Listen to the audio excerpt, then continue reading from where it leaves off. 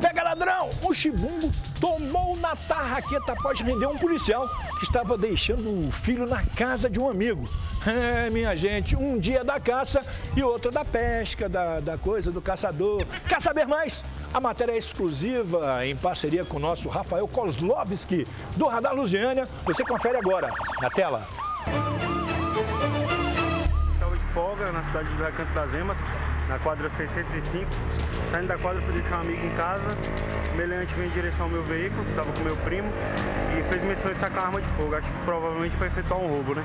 Foi quando eu consegui desembarcar do veículo, fazer a abordagem, a busca, ele tentou empreender fuga. A gente conseguiu derrubar ele da bicicleta e lograr êxito. Ele estava portando uma arma de calibre 32 com três munições intactas.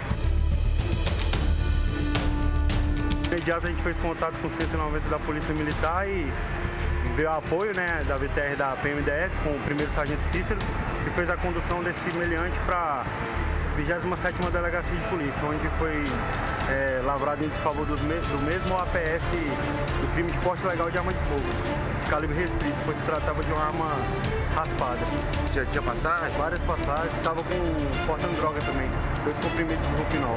Mesmo de folga, conseguindo aí lograr êxito e tirar esse elemento de circulação. Exatamente, muito bom né? Papel cumprido aí, graças a Deus.